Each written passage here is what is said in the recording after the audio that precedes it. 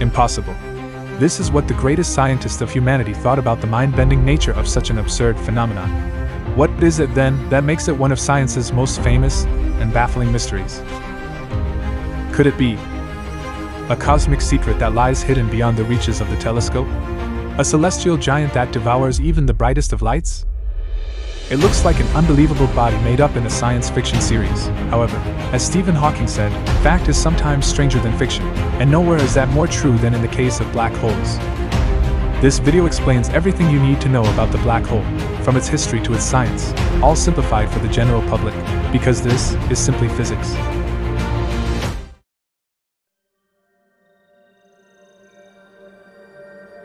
The concept of a black hole was first brought up by the Cambridge scientist John Michell in the 1780s. To understand his theory, you must imagine a rocket on its launch pad, ready to launch. T minus 10, 9, 8, 7, 6, 5, 3, 2, 1, 0, and liftoff of Space Shuttle Atlantis. It accelerates upwards against gravity. If you stop the acceleration, eventually the rocket would slow down due to gravity and crash. The faster you accelerate the rocket, the higher its velocity would be. If you were to launch the rocket really fast, greater than a specific speed, then the rocket would be fast enough to escape the planet and orbit in its atmosphere. This specific speed is called a planet's or a star's escape velocity. The escape velocity of Earth is 11.2 kilometers per second, and that of the Sun is a whopping 615 kilometers per second. Adding to this theory, Michell then thought of the existence of a body so dense, with a gravitational field so strong, that it has an escape velocity greater than the speed of light. Not even photons, the light particles, could escape it. As any light that was released would be absorbed back in, we would not be able to directly see it, and it would just look like a dark void in space. Michell called these dark stars, and now we call them black holes.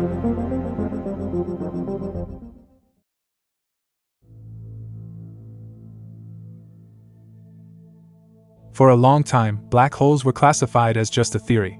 However, it gained popularity when in 1915, Albert Einstein published his theory of general relativity, and one of its solutions, as found by German physicist Karl Schwarzschild, seemed to imply the notion of their existence. Many scientists then began contemplating the creation of different types of black holes. One of them, for example, is a stellar black hole, formed as a product of the death of a star. For most of their lives, stars are able to support themselves by balancing the two forces the outward thermal pressure caused by nuclear fusion inside them, and the inward pull of the star's own gravity, and this results in a stable main sequence star. The more massive a star, the shorter this stage in its life is.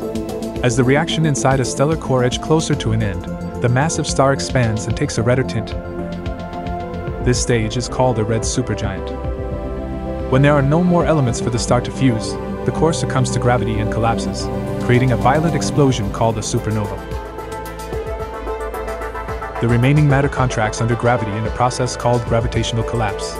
And depending on the mass of the star, the outcome may be one of three bodies collectively called the compact stars.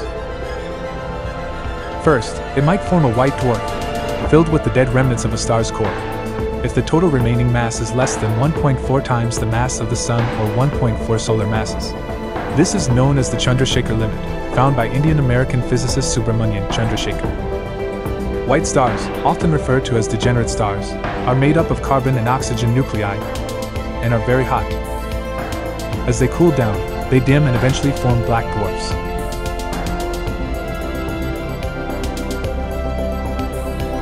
If the remaining mass exceeds the Chandrasekhar limit, the white dwarf collapses into a neutron star, a dense star comprised almost fully of neutrons. The discovery of neutron stars made scientists wonder if there was another limit after which they collapsed into something even more dense. And in 1939, physicists Robert J. Oppenheimer and George M. Volkoff, using the work of Richard C. Tolman, formed the Tolman Oppenheimer Volkoff limit at 3 to 4 solar masses. If the mass of a neutron star exceeds this limit, it finally collapses into the gravitational beast that is famously called a black hole.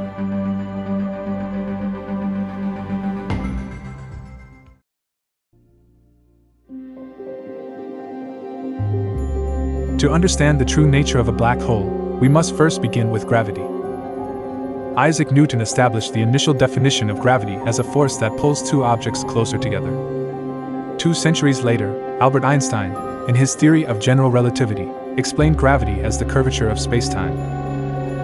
Simply put, spacetime is a model that physicists have created by fusing together the three dimensions of space the x, y, and z and the dimension of time into a single four dimensional surface. And this makes calculations and simulations easier.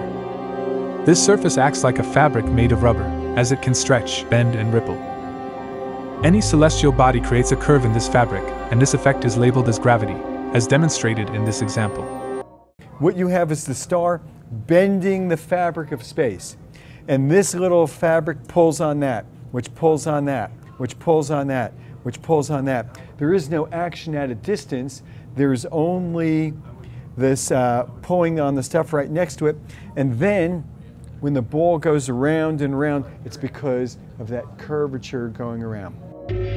Now, what do you think would happen if you had a body that has infinite mass in an infinitely small point?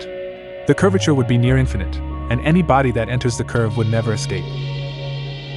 This dense point was discovered by physicist Roger Penrose in 1965, and it is called a singularity.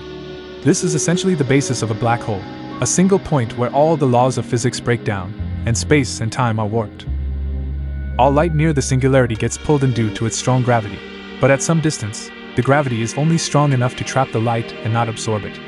The distance was called the Schwarzschild radius, upon the scientist, and at the end of the radius is the boundary of a black hole, the event horizon. No light that enters the event horizon can ever escape. If you were to cross the event horizon, one part of your body would be pulled faster than the other end, causing your body to get stretched apart, a process famously termed spaghettification. Depictions of black holes usually show them with a swirling disk around. The accretion disk is made of any matter that falls prey to its gravity, when the matter has an angular momentum, or a spin, and cannot fall directly into the black hole. The swirling matter rubs against each other, and the heat generated due to friction creates the famous glow. Although a black hole comprises all these features, only three are mainly discernible to an external viewer the mass, the electric charge, and the angular momentum. This is called the no hair theorem, after the statement by scientist John Wheeler a black hole has no hair. Many new discoveries were made about this cosmic giant by the English physicist Stephen Hawking. As no electromagnetic radiation can escape the gravity of a black hole, it seems very counterintuitive that one would itself release radiation. However, in 1974, Hawking argued against its possibility, and it was found that all black holes release black body radiation outside the event horizon. This caused the mass of a black hole to decrease, and eventually one that is not gaining mass would shrink and slowly evaporate. This radiation is now called the Hawking radiation, and it remains one of science's mind bending paradoxes.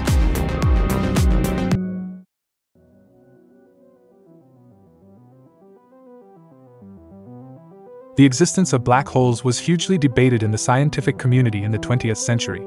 The first black hole was discovered in 1974 by physicists Stephen Hawking and Kip Thorne, and it was dubbed Cygnus X1. However, there was no conclusive evidence. So, their existence was only proved in 2019, when a picture was taken by the Event Horizon Space Telescope of a black hole at the center of the Messier 87 galaxy. Another picture was taken of the black hole Sagittarius A at the center of our Milky Way galaxy. These two remain the only pictures of black holes taken till date. However, there is no lack of the presence of this celestial body in science fiction. It is the basis of the science fiction epic film Interstellar by Christopher Nolan, and discovers many questions, like Is time travel possible? And what is inside a black hole? It has also appeared in pop culture shows such as Star Trek, as well as hidden science fiction films such as The Event Horizon and The Black Hole. A recent mention of these dark stars was found in the biographical epic film Oppenheimer by Christopher Nolan, which documented the scientist's early journey in the research of these enigmas. Overall, it has had a huge impact on the science fiction genre, and its significance is constantly on the rise.